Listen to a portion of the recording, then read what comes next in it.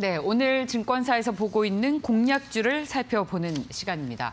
자, 메리츠 증권 강남으로 가겠습니다. 황혜수 차장님, 안녕하십니까? 네, 안녕하세요. 네, 자, 오늘 어떤 종목이죠? 오늘은 하이브를 말씀드리겠는데요. 네. 어, 하이브 같은 경우는 그, 잘 아시다시피 BTS 관련된 어, 엔터 업체인데요.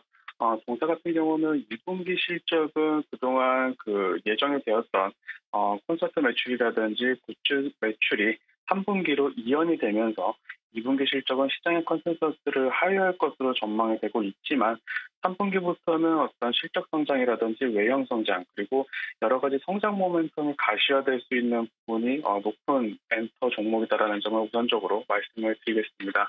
또한 수급적인 측면에서도 그 overhang이 있었던 스틱보유 지분의 일괄 매도가 진행이 됐고 어, 여러 그 엔터 국내 엔터 기획사 중에 외국인 지분율이 수급적으로 굉장히 낮은 어, 비율이기 때문에 향후 수급적인 momentum도 우호적이다라는 점을 말씀을 드리겠습니다.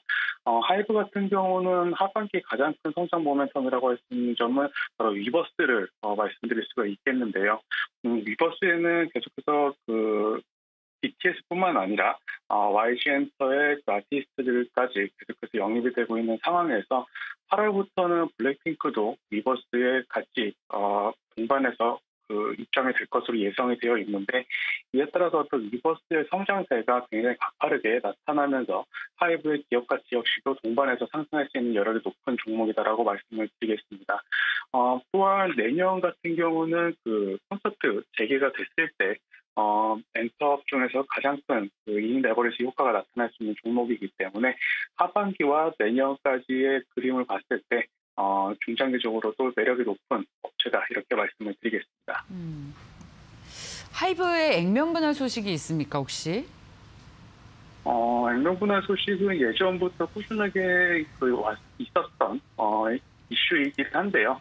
아직까지는 뭐 가시화된 부분이 없고 음. 발표가 되기 이전이기 때문에 음. 어, 제가 지금 상황에서 그 액면 분할에 대한 거를 말씀드리기는 조금 음. 이른 면이 있다라고 어, 음. 보시면 될 것 같아요. 아, 예, 예, 예. 뭐 그런 기대감들이 좀 있는 것 같은데. 네, 알겠습니다. 자, 하이브 살펴봤습니다. 상대적으로 다른 엔터 회사들에 비해서 좀 못 올랐는데 하이브에 소속된 BTS의 인기는 전 세계적으로 커지는 만큼 이 회사의 주가도 함께 동반 성장 하면 좋겠습니다. 감사합니다, 차장님. 감사합니다.